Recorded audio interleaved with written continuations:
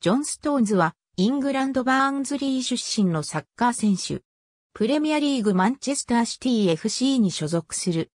イングランド代表。ポジションはディフェンダー。バーンズリーのユースアカデミー出身。2011年12月にプロ契約を交わした。同年3月17日、オークウェルで行われたレディング戦でチャンピオンシップデビュー。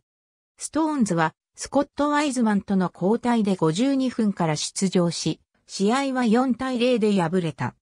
同年8月11日、リーグカップのロッチデール戦で初得点を記録した。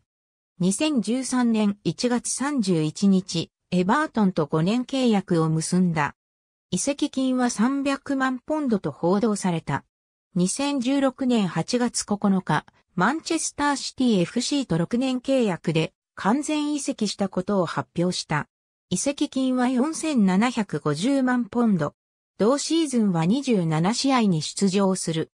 しかし2017から18シーズンの冬にアイメリク・ラポルテが加入したことと怪我によって翌シーズンからセンターバックの4番手に序列を下げることとなった。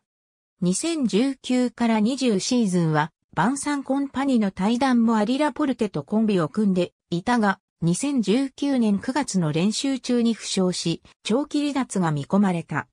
2021年8月10日、マンチェスターシティと新たな長期契約を結び2026年夏まで契約延長した。UEFA 欧州選手権2016の本大会メンバーに選出された。